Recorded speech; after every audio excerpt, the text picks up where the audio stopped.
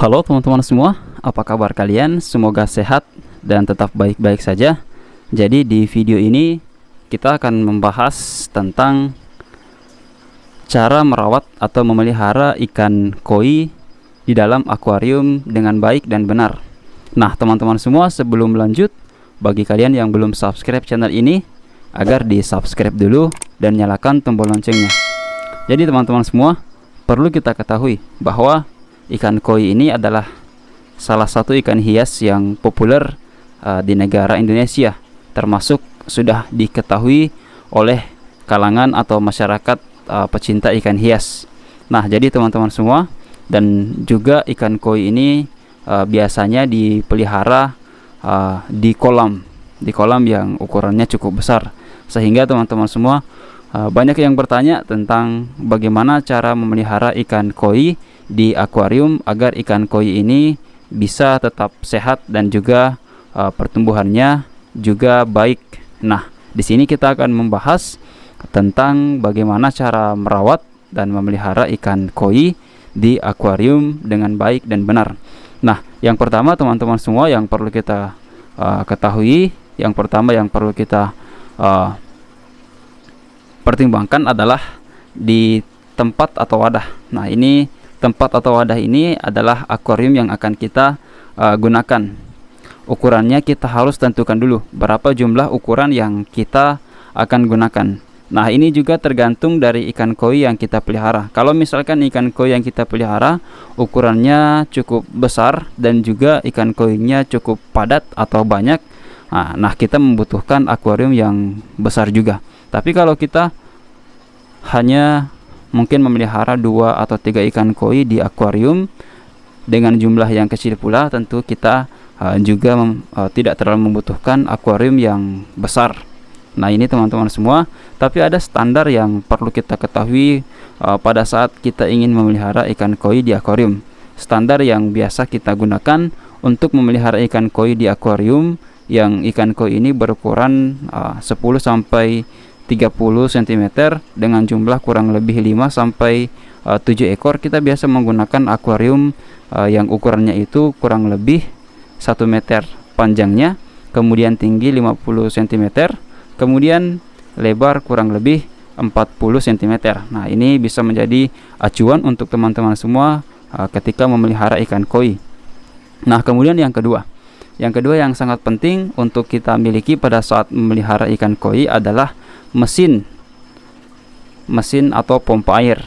Nah, pompa air ini uh, mengapa kita sangat membutuhkan pompa air ini dikarenakan pompa air ini adalah salah satu faktor yang menyebabkan ikan koi cepat mati ketika kita tidak memiliki alat ini. Karena uh, fungsi dari pompa air ini adalah mensirkulasi air atau memutar air agar uh, air tetap bergerak dan juga uh, jernih di akuarium yang kita miliki. Karena kalau air kita tidak jernih atau kotor, maka otomatis ikan koi akan tidak suka dengan air yang kita miliki.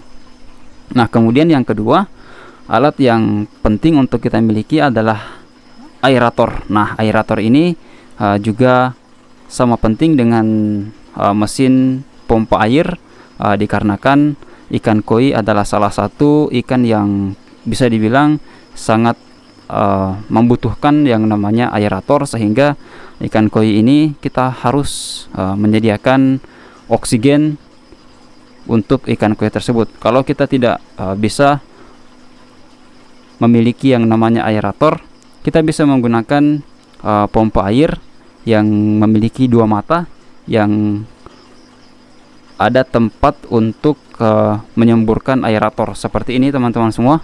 Kalian bisa lihat sendiri seperti ini. Ini pompa air yang bisa menyemburkan aerator. Kita bisa menggunakan pompa air seperti ini uh, untuk keperluan uh, akuarium ikan koi kita. Sehingga kalau kita menyediakan aerator untuk ikan koi tentunya ini akan mempercepat juga uh, pertumbuhan dan tentunya kesehatannya akan tetap terjaga ketika oksigennya tetap ada nah itu yang uh, ketiga yang perlu kita perhatikan Nah, kemudian yang keempat adalah makanan.